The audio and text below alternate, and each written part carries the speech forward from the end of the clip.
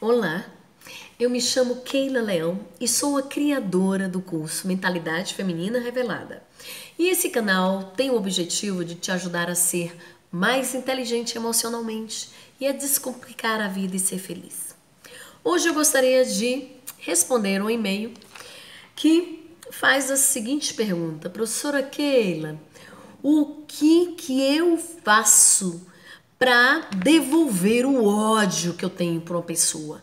Como eu faço para irritar uma pessoa? Eu tenho ódio dessa pessoa, tenho tanta raiva dessa pessoa. Ela vive falando mal de mim, me irritando no trabalho, fazendo inferno com meu nome. Bom, gente, isso aqui serve. O que eu vou responder para vocês serve para todas as situações. Seja no seu trabalho, na família, na rua, não importa, em qualquer relacionamento.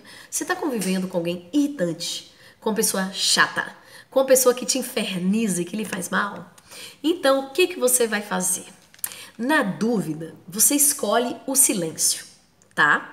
Toda vez que essa pessoa fala mal de você, perturbar você, é, te fizer mal, você escolha o silêncio, porque ele incomoda, ele irrita, ele chateia, não gasta sua energia e ainda por cima preserva a sua imagem. É uma beleza. Você devolve para a gente ignorante silêncio. Você devolve para a ignorância ausência, porque a gente ignorância não merece audiência.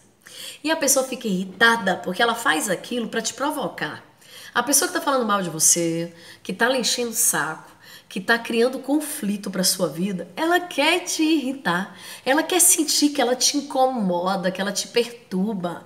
Gente, é terrível para uma pessoa que se sente especial, que se acha única, que se acha sua maior inimiga, receber indiferença, silêncio, frieza.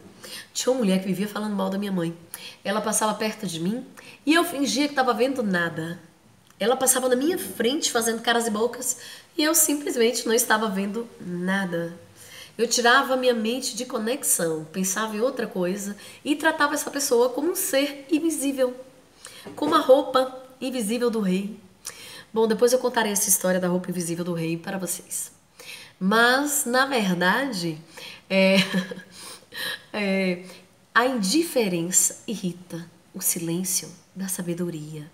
E as pessoas vão te ver como uma pessoa madura e extremamente superior. Super simples. Estão vendo? Então é fácil ser feliz.